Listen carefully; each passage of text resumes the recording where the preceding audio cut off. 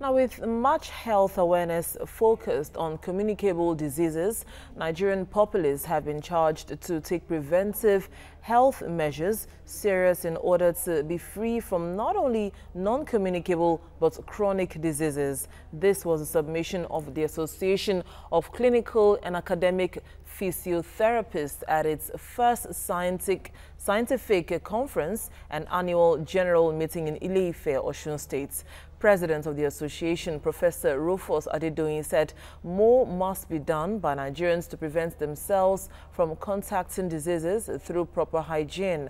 The Osun State Governor, Rauf Aregbesola, represented by his special advisor on health, Gbenga Oyinlola, charged the Guild of Physiotherapists to engage in more publicity on prevention of non-communicable diseases in the society.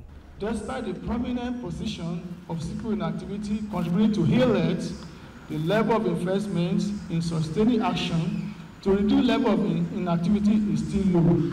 This conference are designed to empower the participants to be adequately prepared not only to provide rehabilitation service but also involved in health promotion and disease prevention because Nigeria is here to have enough manpower and resources to treat patients with these, these diseases. Hence, prevention is critical.